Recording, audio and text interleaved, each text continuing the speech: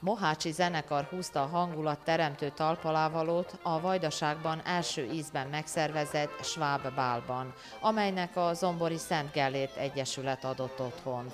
Ez tulajdonképpen egy 16 éves munkának a koronája, egy nagy elismerést kaptunk a világszervezettől, akik eh, fölajánlották, hogy eh, ezt segítenek nekünk megszervezni. Mondhatom, hogy az összes vajdasági egyesületekből képviselet van, a humanitárius szervezet eh, képviselői itt vannak, német tanárok, elég sok magasrangú politikus, mind a két nagykövetségről, a németből és az osztrákból is itt vannak a képviselők, vendégeink vannak Horvátországból is, Magyarországról is, és én gondolom, hogy egy ilyen ünnepség a sör nélkül és a zene nélkül, ami a háttérben van, ezt nem lehet.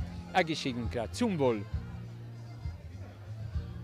Természetesen hagyományos sváb étkek kerültek terítékre, az édes mustárral tálalt Weisswursttól, vagyis a fehér kolbásztól a mákos gubáig.